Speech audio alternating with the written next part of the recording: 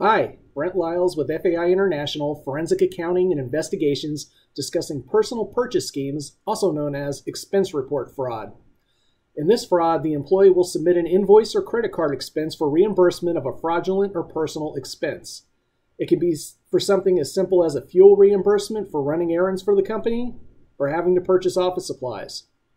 We at FAI International have seen our clients' employees submit reimbursements for household groceries, and one was even successful slipping their mortgage payment through the reimbursement.